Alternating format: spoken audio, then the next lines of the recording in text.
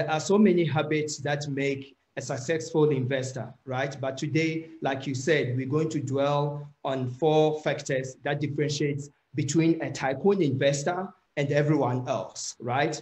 And to me, the first thing that you need to look at, and obviously I've got three adjectives that I've put them together, is, is your ambition, your motivation, and persistence. You need to, you need to, and I put those together because they all kind of do the same thing because they're synonyms to each other. And it's finding the need and fulfilling it. So for example, for us as real estate investors, what, are, what, what is the need that we need to fulfill? And the need that we need to fulfill is shelter. That's the need. And you need to have, especially at the beginning of this year, you need to have your ambition, which is your goals that you're going to set up so that you'll be able to fulfill that need. And you need to also have that mentality that you're going to provide the best shelter among your competitors or your peers, right? And not being too excited about counting your money. You rather have to be excited about measuring your success of achievement based on a specific need that you have fulfilled. So to me, that, that's the number one thing that we need to look at. Ambition, motivation, persistence. We need that at the very beginning of any investment that we embark on. Mm. And I think, you know, one of the things that you probably take for, for granted um, a lot of times people talk about you know ambition and the thing about ambition is you need to back it up with you know a track record. It's it's it's not enough to say that you're ambitious or you have ambitions of doing a particular thing. You almost need to go to what do i need to do on a daily basis in order for me to get you know just that little bit step closer uh, to doing uh, or to achieving what it is that i want to achieve. And it is one of those things that um, you sometimes take for granted. And, and you know i actually love that you you mentioned persistence because if if i even reflect on my own you know property investment journey you need to be quite persistent, whether it is persistent in um, the kind of knowledge that you want to learn, be persistent in when you're dealing with, for example, you know, the different financial institutions and there's a particular rate that you want, or you're negotiating a price for a property that you're viewing. Uh, you kind of need to be quite persistent sometimes with, uh, you know, different service providers. The moment you're a landlord um, and you start managing your own property, and, and I think that's one of what that's certainly a trait that you're going to need throughout your journey. So it isn't even one of those that you you you leave once you've acquired that first or that second property. You kind of need to be in it um, or you need that trait or that or to stick to that habit uh, for quite an extended period of time. So Ekow, we we we have our ambition on lock. We certainly are. We, we understand that if you're going to go into the property space, persistence is one of the things that you're going to need to, um, you know, essentially do, and you're going to need to be persistent in different ways. What would then be the second habit that viewers at home need to um, be aware of and perhaps even try to slowly cultivate? Yes. So the second is having a workable and a realistic plan, right? And by realistic means that not spinning your wheels on projects that cannot produce a good profit. So spend your energy on things that's going to be equivalent to the same amount of energy that you've used. And, and that's very important. And you need to be strategic by having a written program of your activities, your objectives, and your investment criteria, such as your return on requirements, so, such as your return requirements, right? It could be the length of the investment. You need to decide upfront. Am I going to invest in this real estate business for the next five years? What is my exit strategy? And, and that's the second part. You need to always have your ex exit strategy in mind before you even step a foot to begin your journey. And once you've done that, then what the next question you're asking yourself within the same uh, workable or realistic plan is what is the risk tolerance that I'm, I'm allowed to, to like experience or I'm, I'm going to tolerate as, a, as an investor. And that's key because you can go ahead and invest blindly thinking that, you know what, because it's cheap, I'm going to make money. It's not always the case. Cheap is very expensive sometimes. So you need to be able to assess your risk tolerance uh, in terms of the location, the type of property that you want to invest in. And once you have that plan written down, stick to it. Don't change that plan. Don't go sit in an auction somewhere and say, oh, because this guy is buying a property for a million, I need to now be egotistic and buy it for 1.2 million. No, your return on investment strategy says if you buy it for 1.2 million, you're going to make 10% and you want to make 15% and above. So you stick to the plan. It's, you need to be patient and you're going to get your deal. Mm. You know, I actually want to go back just slightly because I think one of the things that you've mentioned, and I really love it, uh, you, you know, you know that you must have a workable and a realistic plan, which probably brings me to something that I know a lot of people at home are probably doing now. You're sitting down your, you know, your annual goals for the year, perhaps your resolutions. But one of the things that we know about, um, you know, setting goals is that you must have smart goals. So it's not enough to just say, you know, I want to grow my portfolio. So you need to be uh, you know, you want to be able to say, I want to grow my portfolio by X percent, or I want to add two properties by the end of, you know, Q3, and I want to have, let's say, only spend less than a million on both those properties and have, let's say, prime uh, plus at most, let's say 0.25, those kinds of things. So it's so important that you're able to also just be very direct in the kind of goals that you set for yourselves. Um, and one thing that you mentioned though is around the risk tolerance. Perhaps take us through how we should be thinking around um, the amount of risk. I mean, I think you and I both know that depending on the kind of property that you'd go for, how big the deal is, it gets riskier and riskier. Oftentimes, when um, you know, you know, oftentimes when you're doing, for example, commercial deals or slightly bigger ones, banks will want you to put down some of your own money. So you aren't just raising, you know, capital from the bank, but perhaps you're even going to other investors. And some of those investors could easily be friends and family. So it's very easy for, you know, a, a property deal to be relatively risky.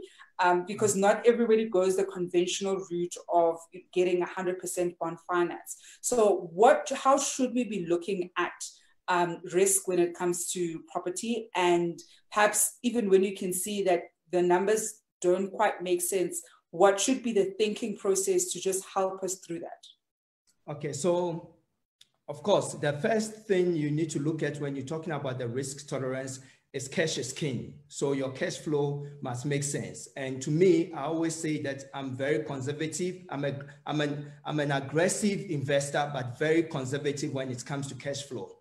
So, and COVID has proven it. That's whether the strategy that we're using was good or bad. COVID just proved it. It's a, a, a uh, and you need to make sure that whatever that you're doing, again, like we go back to my 80-20 principle, right? Where I say whatever that you're doing, the, the, it doesn't matter how much the property is, you, you need to look at only getting 80% of that deal from your side because no matter how bad the market is going to be, you are already have an 80% buffer. But I normally don't use the 80%, I do 60%. And that's how conservative I am with my cash flow. I'm very aggressive in terms of the project that I take on. But 60%. And why do you do that? Because you're saying that no matter how bad the situation is, you're going to be able to collect 60% of your rental income because this is the environment we're living in now. And if you collect 60% of the rental income, it should be able to at least satisfy your, your necessity needs in terms of your budget. So paying your bills, paying school fees, petrol money, pocket money, those things should sit within your 60%. And that's what we do with Be Grand at Property Ask Ekow the student that we teach. That is the mentality that we burden, right? In terms of the return on investment, I normally say I don't do a deal that's going to give me less than 15% return on investment. The reason is if you go through historical interest rate in South Africa, the worst we've been in was around 26%. And that was, I think, in 1996 or 1997. I'm not sure on the date, but we can go back. So, so we've been there. We've been to 26% interest rate before in this country. So if you take historical data and you break it down, and that's why I always say investment must be art and science. It must not just be, oh, my gut feeling. Gut feeling doesn't pay bills. The, the Met pay bills. And you need to understand that. So, so once you've achieved that, and to me, from what, where we're sitting, we know that at 15%, we'll be able to break even, no matter how bad the market goes. If we hit 26%, as proven historically, we'll still be able to wash our faces. And that is, that is the strategy you need to have. And that's why I'm saying that you need to have, you define that risk tolerance and you stick to it. You don't move, you stay with it like a glue. And that's how it's supposed to be done. Mm. I'm in conversation with Ekow Quagraine, who's a founder of Be Grand Holdings, and we're looking at the habits uh, that every property investor should adopt in 2021. I certainly want to hear from you at home. Uh, if you were, or certainly if you've been watching the podcasts uh, over the past couple of months last year, you know, what are some of the, the key things that you've picked up as you know, for you needing to cultivate uh, and certainly practice regularly as you, you walk your property journey, especially if you are a property investor. And I also want to hear from you what your property goals for the year are. I think the great thing that we heard, especially in the tail end of last year, was all the great uh, property milestone. A lot of you at home were able to reach. Um, I remember one viewer on YouTube also showing that they were able to buy, I think it was five properties at 100% LTV, and they really enjoyed watching the podcast and learning so much. So do let us know what those property goals are for 2021, and we'll make sure that at the end of the year we see if you're able to tick them off. I am seeing your comments, and uh, here on just on the screen, it's slightly small on my end. I must actually ask them uh, to send it to my phone. Send me Maklatsa, one of the top 10 gang members saying, Wow, Zamantungwa Khumalo, I love what you are talking about today. Uh, hashtag plan. I love that, Sam. We always need to plan. I think one of the things that last year showed us is that, um, especially in the property space, a lot of people were not ready for the, the knock that the property sector took on. And then there were just so many various opportunities. And if anything, the opportunities are only able to be taken by people who were, for the most part, ready for them. I mean, I've seen, for example, um, that a lot of properties, or there have been a number of properties that went on auction that ended up selling for slightly less than what um, they were. So opportunities like that certainly do come up. Uh, we are seeing a lot of owners also selling some of their properties, whether it is to offload the stock or to open up a bit of room uh, in their own, you know, cash flow there are various reasons why a seller would sell. Perhaps they're also eyeing a bigger property uh, that will make better sense for their property strategy uh, for the new year. So one of the ways that you're able to take advantage of so many of these deals, of course, is if you've planned uh, effectively. So we certainly, I certainly want to hear from you at home. What are some of your property goals? Do share them down here below uh, with us across, of course, our social media platforms. You can reach me on my own social media platform on at Zamantungwa underscore K. Now, Ekow, I think one of the things that you, you know, touch on that's so important um, is that you, we need to be able to run our numbers and do it really well. And I think we'll definitely be uh, looking at the numbers game in other episodes as well, because it is one of those big pressure points. Uh, because as you're saying, property isn't just about, oh, I own 10 units or X number of units, but it, it really is about the rands and cents and whether they're stacking up and sometimes, unfortunately, a deal just doesn't stack up. You know, you may like the property, it might be in a good area, but when you start running your numbers, it just doesn't give you the kind of yield that you're looking for. Um, a bit of a cheeky question for you, especially right now. I mean, we're seeing a lot of uh, stock on the market uh, almost throughout the regions. And some people perhaps might want to buy because they now qualify or think, look, let me just add on um, this particular property, even if the numbers don't stack up now, maybe they'll stack up um, in the coming months. Because one of the things that we've also seen, of course, is that rental prices are slowly going down, um, and a lot of landlords are having to adjust their rental prices because of the market that we're finding ourselves in. How should viewers at home be thinking through buying an asset that looks, you know, re- we'll say it, re- it looks relatively good pre COVID numbers, uh, and the kind of uh, rental it was able to attract at that point. And let's assume that the expenses were also not that high. But now, because of the effects of COVID and rental perhaps not just staying where it is, but having to just go down slightly. Should you bite the bullet and buy that uh, property and perhaps in the next coming months, you'll be able to recover? Or should you rather say, look, it's not stacking up right now, therefore just don't buy it? How should we be thinking about it?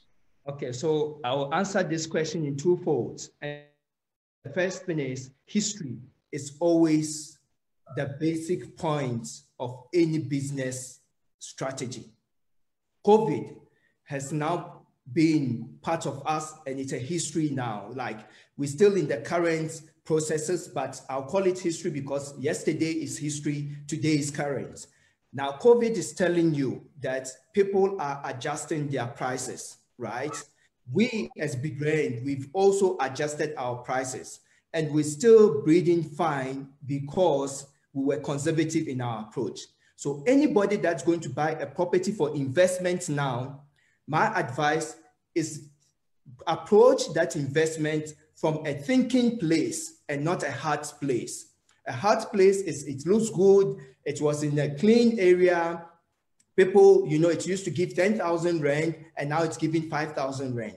It's fine. Buy it and make sure that as an investor, your first principle is who is going to pay for me and if that person is going to pay and you're going to put more than what you need in that deal, walk away from that deal. That is my advice. Walk away from that deal. Make sure you're not putting a cent of your money in that deal. Then go three, four blocks away on the same street and you'll find your baby. That's my advice. Don't buy purely because you admire the property. Buy purely because it is going to make you money. At the end of the day, that's part of the reasons why you invest in. You want to make money. Above all, you want to provide what you, uh, you want to provide services, better services, one of the exceptional services in the streets. That's what you want to provide. But that services is backed by the money that people pay you. And one of the successes that we've had during COVID is because of the way we treat our clients, which is our tenants.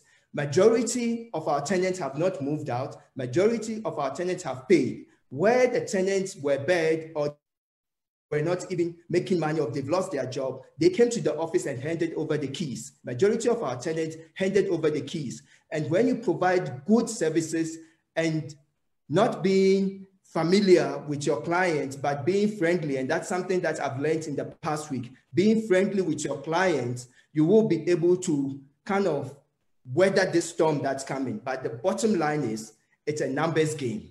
That's the game of property. Mm-mm-mm. We are taking your questions and comments at home. I want to hear from you. What are some of your uh, you know, property goals and ambitions for this year.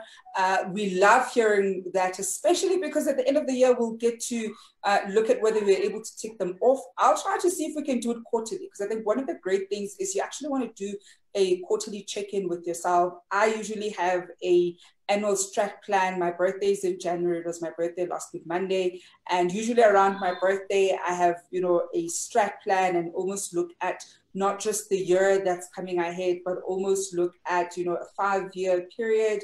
What are some of the things that I want to tick off and want to have achieved? And do regular check-ins with myself, you know, whether it is quarterly check-ins to see how far I am with some of my goals, monthly check-ins, and sometimes even weekly, because I think there's certain goals that you need to monitor uh, on a weekly basis, because you want to almost break it down bit by bit. And I we are taking your questions and comments. I see one of the top 10 gang members, uh, saying we need to invest more in property, but this pandemic is slowing us down. Hopefully things will get back uh, to normal soon. I don't see them going back to normal. I think we're going to have to uh, realize that we have a completely different normal that's coming our way and we need to fundamentally adapt to, to that new normal, uh, whichever that new normal is going to be. Uh, Semi continues to say, my plan is to add one more property, but I need to see how the year goes uh, when the Department of Health introduces the vaccine. Uh, we've also got a comment um, here from K Fortune uh, who says, I want to sell and to purchase elsewhere and then invest and rent for a year. Then I want to clear my debt and apply for a bond and cash out uh, part of my investment to buy a home. Will it work? Uh, that guarantee, what guarantees do I have? So there's certainly a lot that Kay wants to do Ekow. I think before you even look at will that strategy work, because on the one hand you want to pay off debt, on the other hand you want to go into property. One of the things I certainly want to hear from you, um, Ekow, is how should people who already who currently have debt, uh, and let's assume it's not a car. Let's think uh, maybe they have cell phone contracts, maybe store accounts, uh, credit card debt. How should they be looking at prioritizing, you know, servicing the debt first? Um, and let's assume here they are paying their debts on time. So it's not a matter of, uh, you know, they are missing their debt repayment, they're paying their debt on time. What should they be strategizing first in terms of prioritizing uh, getting that property? I mean, I, I, will share my own view with about this particular one because I've been on that boat. Uh, but Ekow, how should we be looking at the different ways of either managing debt uh, juxtaposed with buying a, a property? Okay, so I think it's very, very good question, Zama. And um, the way you manage debt is basically you look at the chunk of it because you've got different types of debt, right? For, for starters, when I look at my debt, I normally always want to pay the one with the highest interest rate first. That's what I do. Because if I can kill that one, then our, my affordability will be higher. So that's that's where I look at. That's how I normally start. So once you've figured out, or you or someone will say, I have a friend who normally says, okay, I don't go with the with the highest interest rates one, but I go with the with the one that takes majority of my income. So he sit down and says, if I want to buy a property for a million and I need 10,000 rand a month, that's extra uh, free cash flow on my balance sheet, or sorry, on my income statement then what do I do? So he looks into all the debts that he has, that obligations that he has, and says, okay, this is, I'm paying 5,000 on this. So if I can reduce this 5,000 to say a thousand rand, then I've got excess cash because he's done, he's done his cash flow analysis and he knows if that money is out, irrespective of whatever the interest rate might be, to him, he's saying, I'm paying 2,000, even if it's a 25% interest rate and I'm paying 10,000, this is a 10% interest rate. But if I pay this 10,000 off my books, it will enable me to get access to a million rand. That's how he looks at it. Mine is completely different. I look at the interest rate approach and both method makes sense. So I would say people based on your, on again, your risk tolerance and based on your own lifestyle, personal lifestyle, you can adapt any of these two strategies and they both work very fine. Yeah. Um, and I think, I mean, I was saying earlier that I certainly have my own take with this one. I, I love the approach that um, Ekow has, has highlighted. Um, one of the things, though, that I will emphasize is do speak to a financial advisor because you want to do your needs analysis, you want to do your balance sheet, you want to do the different um, way, like almost iterations of the direction that you can take. Um, and I think you want to make sure that at the end of the day, you are eliminating the debt that you want to eliminate uh, so that you're not obviously spending all that money on interest rates, servicing, um, what a lot of people would term bad debt. So I think, hey, one of the things definitely do reach out to, um, you know, a financial advisor to get your insight from them. Um, last question from viewers at home. Uh, this one is coming from Sbamu uh, Marcus, who says, is it wise to buy a flat to rent out while I live at home? I love this one because I think it's a it's an easy one. Ekow. Yes, it's it's it's smart and wise to buy a flat, rent it out whilst you live at home. The important thing is somebody's paying the bond. That is the key. Because when you live at home, your expenses is kind of minimized, right? You've got a brother, you've got a sister, you contribute as opposed to being the sole contributor of whatever that you do in life. So, so I will always advise if you've got somewhere to stay for free or you've got somewhere to stay and pay less, then why not stay at home, buy that property, rent it out. The important thing is you're doing something about your life and you're investing. and you're generating cash flow. I want to echo that one because I think one of the things that you underestimate, especially once you've bought, I mean, you, you we, we talk about the running costs of owning a property and we tend to underestimate it. I think as homeowners, you usually just think of your bond payment, uh, but if you're going to be living in a sectional title community, you're obviously also going to have your levies, you're going to have your rates and taxes. Uh, sometimes you must do maintenance for your place. If your geyser bursts, you must pay for the insurance um, you, you, know, for the access for the insurance. So there are all these costs that you typically wouldn't have when you live at home. Uh, I always say to people, if you can afford to live at home, and I don't mean financially afford to, I mean, if home is conveniently close to work, um, if you've got a healthy home environment where you're still able to live with whether it's your parents or your siblings and it doesn't uh, you know, negatively affect your mental health, stay for as long as you possibly can.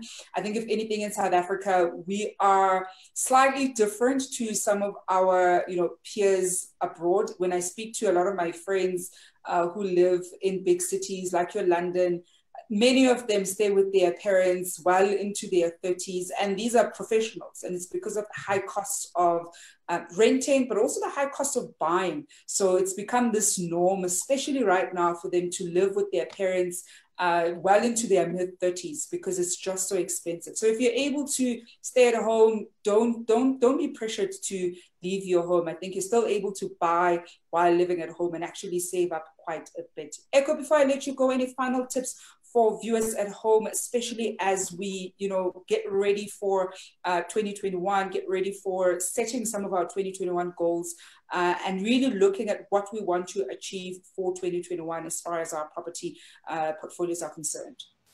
Yes. So uh, my, my advice is when you're setting your goals, and I think we've spoken a whole lot about goal setting.